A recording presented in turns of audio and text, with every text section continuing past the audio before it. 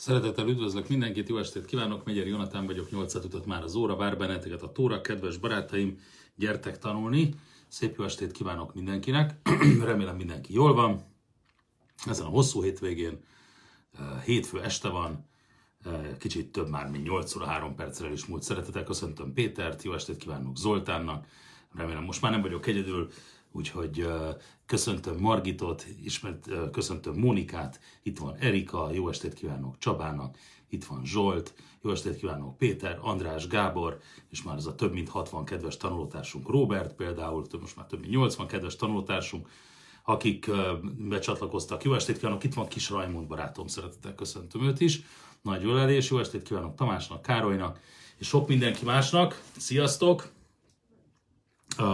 Ma haladunk egy picit tovább a, a Tánya című könyv, a Tánya című könyv az Alter Rebe, az első Lubavicsi Rebe könyvének, a Hasid filozófia alapművének tanulmányozásában hetedik fejezetnél tartunk, de még mielőtt erre rákanyarodok, azelőtt még hadd beszéljek két kérdésről, ami érkezett, és azt gondolom, hogy lehet, hogy titeket is érdekel. Egyik kedves tanulótársunk azt kérdezi, hogy mi a zsidóság véleménye a hónaj és az intim testrészeken lévő szőr eltávolításáról, illetve nőknél a láb szörtelenítéséről. Én úgy tudom, hogy ez muzulmán szokás, írja a kedves tanulótársunk, előre is köszönöm a válaszát, azt nem tudom, hogy muzulmán szokás-e. Az egészen biztos, hogy Talmud már beszél róla, a szörtelenítésről. Akkor nézzük meg, ugye arról beszéltünk korábban, a borotválkozás, az arc, konkrétan az arc szőrzet, pontosabban az arc bizonyos helyein a szőr tényleges elpusztítása penge által, penge által, vagy tulajdonképpen kés által, az férfiaknak tilos, nőknek nem. Nők szempontjából a nők testszörzetére vonatkozó semmilyen, testszörzetének eltávolítására vonatkozólag semmilyen tiltás nincsen. A nő bármilyen módon, akár borotvával, akár bármi mással eltávolíthat bárhonnan szőrt a testéről, legyen ez az arcszörzet, legyen ez a fejszörzet, legyen ez legyen ez hónaj, vagy intim részek, vagy a láb akár, tehát bárhonnan a testről hölgyek bármilyen módszerrel eltávolíthatnak. És mindjárt mondom, hogy miért hangsúlyozom ezt ki. Bármilyen módszerrel, bárhonnan eltávolíthatnak szőrt. Férfiak,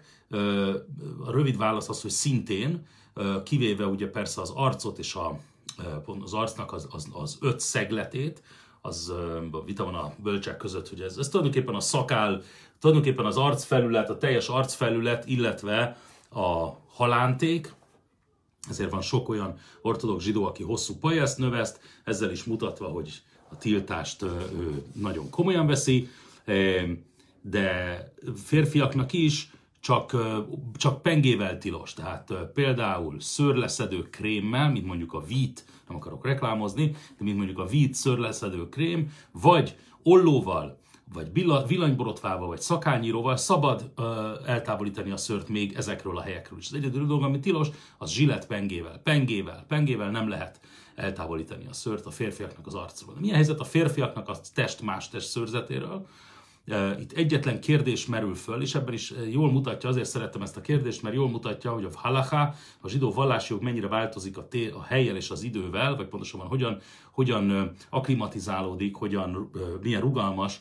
a, milyen rugalmas az idők változásához képest, ugyanis a test többi részén a férfiak ö, szőr eltávolítása az egy problémátikába ütközhet esetleg, az pedig az, hogy, amit az éppen az előbb említettem, hogy ez női szokás.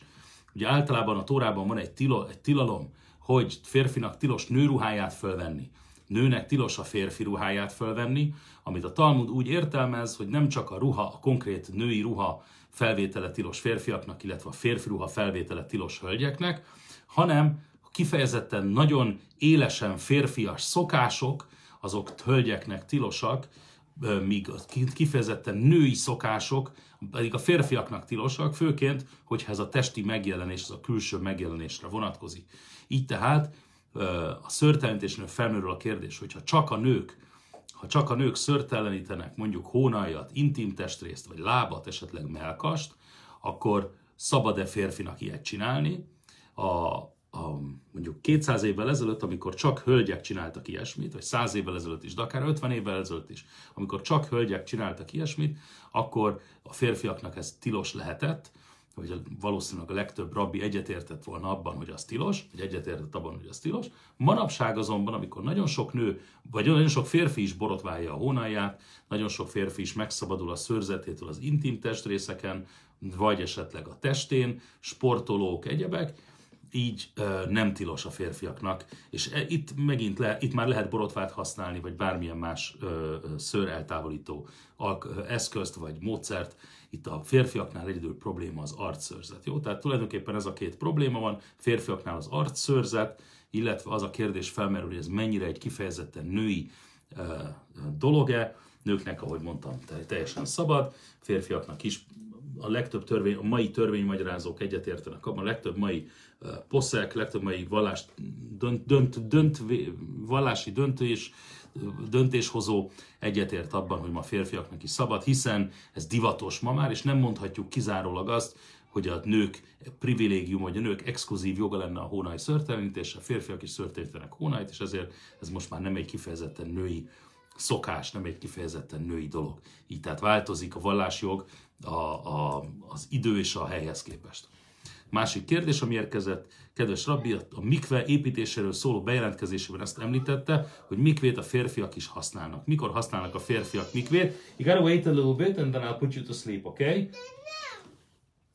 Bocsánat, csak a három éves fiam vágyik arra, hogy lefektessem, mindjárt meg is fogom tenni, de előtte még megválaszolom ezt a kérdést a, a, a, a mikve építéséről szóló bejelentkezésben említett, hogy férfiak is használnak mikvét, mikor használnak a férfiak mikvét. Ugye a mikve, a rituális vallási fürdő a hölgyeknek, ahogy abban a bejelentkezésben is említettem, a, a, a, a, a menstruációs ciklus után miután a nő, akinek abban maradt a menstruációja, utána, utána tart hét tiszt, tisztuló napot, és a tisztulónap végén, a hét tisztulónap végén elmegy a mikvébe, alámerül a rituális fürdő vizébe, és említettem, hogy férfiak is alámerülnek, de a férfiaknak nem menstruációs ciklushoz van kötve, természetesen, hiszen a férfiak nem menstruálnak, hanem, hanem ö, ugye a Talmud részletesen beszél arról, hogy a, sőt, hát ez tórai törvény tulajdonképpen, csak a Talmud fejti ki részletesen, amit a Tóra említ, már a Biblia említ, hogy férfiaknak és egyébként nőknek is szexuális együttlét után kell, ö, ö, kellett, a, amíg még állt a Jeruzsálemi szentély, addig szexuális együttlét után, vagy pedig, hogyha a férfi, férfiből sperma távozott, spermium távozott, akár szexuális együttlét során, vagy miatt, akár például spontán magömlés miatt, vagy valamilyen más, sőt, tehát tulajdonképpen ez a két megengedett formájában az ejakulációnak, a szexuális együttlét és a spontán magömlés. Ugye a spontán magömlés után is, vagy a szexuális együttlés lét után is a férfinak el kellett mennie a rituális fürdőbe,